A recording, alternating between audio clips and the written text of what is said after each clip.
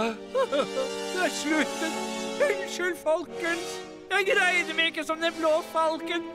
Nå blir vi alle gjort til stein, bare på grunn av meg. Jeg er glad den blå falken ikke lever, og får se hvor mislykket jeg har blitt. Jeg tror den blå falken aldri ville gitt opp. Det handler ikke om å bli slått ned, men om å reise seg opp igjen. Så kom opp, blå falk. Nå gjør vi det. Du har rett, hundehundre. Jeg skal redde dere snåle unger. Joho, Medusa! Ta meg om du kan.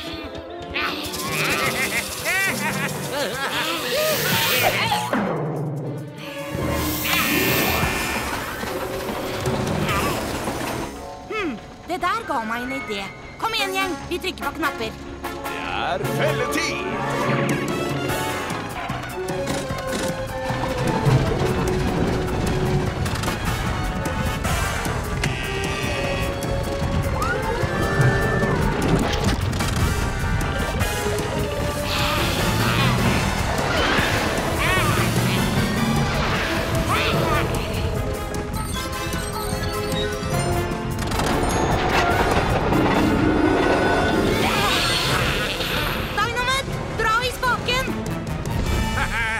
På tide å få sementert dette mysteriet.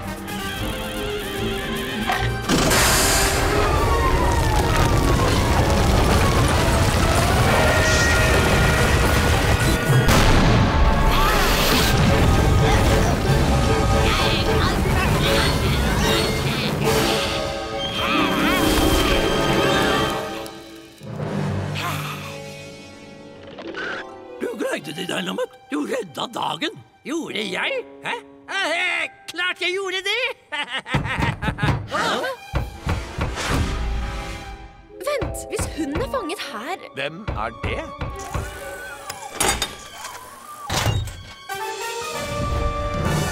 Den blå falken. Du er ikke en statue. Ikke som jeg kjenner til hundunder. Men jeg må gratulere dere alle med det steinkalde detektivarbeidet. Dere fanget tyven. Og nå får vi se hvem dette Medusa-monsteret egentlig er. Timothy Smallbottoms. Jeg var sikker på at skurken var Radley Crown. Vent nå litt. Hvis Timothy Smallbottoms er monsteret, betyr det at Radley Crown faktisk er den blå? Ja, Velma, hvis det er greit, vil jeg gjerne forklare hvordan dette mysteriet løste seg. Takk. Altså, jeg har fulgt med på herr Smallbottoms en god stund nå. Han har solgt sine egne verdifulle vaser på svartebørsen for å unngå å betale skatt. Da han ikke hadde flere av sine egne vaser igjen å selge, lagde han Medusa-monsterkostyme for å kunne stjele andres. Det kan hende Smallbottoms fikk has på meg, men dere merkelige mysterieløsere fikk has på ham. Bra jobba. Og jeg hadde sluppet unna med det også om det ikke hadde vært for Vel, hvis det ikke hadde vært for deg, Dynamat. Ha! Ja, greit, da. Og dere brysomme unger. Eh, kremt, kremt. Og oss hunder. Greit, dere hunder òg. Det er samme for meg. Fornøyd nå? Eh, eh, ikke helt. Det er selfietid!